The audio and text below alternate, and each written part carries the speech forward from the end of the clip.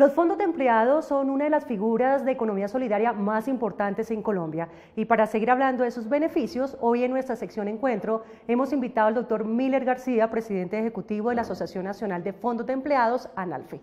Bienvenido, doctor García. Muchas gracias, muy amable por la invitación, Katy. Comencemos explicando, doctor García, cuál es el aporte de los fondos de empleados a la calidad de vida de los trabajadores en Colombia. Pues mira, ante todo, los fondos de empleados cumplen una visión muy importante frente a un tema prioritario que es el, ahorro y los servicios conectos que prestan los fondos de empleados. El ahorro es algo muy importante para el ser humano porque es reservar un dinero para un tema de emergencia que se presente.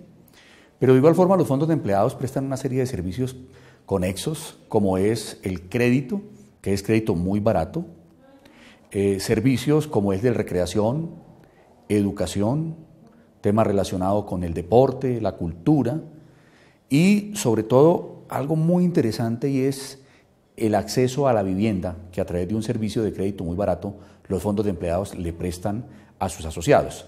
De tal forma que en el seno de las empresas cumplen una misión muy importante y es que generan bienestar para el asociado y sus familias. Ahora, doctor García, ¿De qué manera el gremio puede unificarse con la unidad administrativa, tanto para el crecimiento como para el desarrollo de los fondos de empleados en Colombia? No, pues mucho, y de por sí hemos venido trabajando con, con organizaciones solidarias.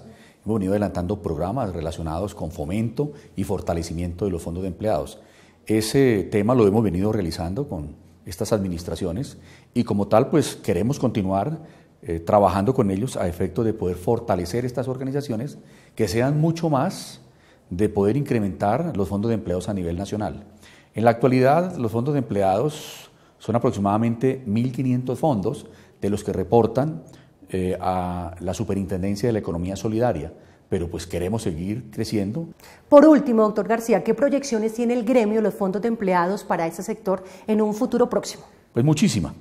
Le hemos propuesto a la unidad de regulación financiera del Ministerio de Hacienda, poder elaborar conjuntamente unas normas regulatorias, unas normas prudenciales para el sector de los fondos de empleados.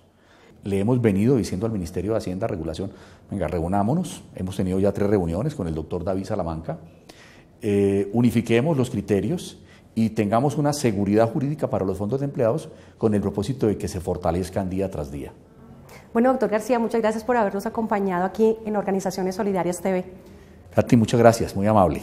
Y usted recuerde que si quiere conocer más sobre las organizaciones solidarias, puede chatear con Papo todos los martes y jueves de 9 a 12 en www.orgsolidarias.gov.co. Vamos a una breve pausa y en instante regresamos.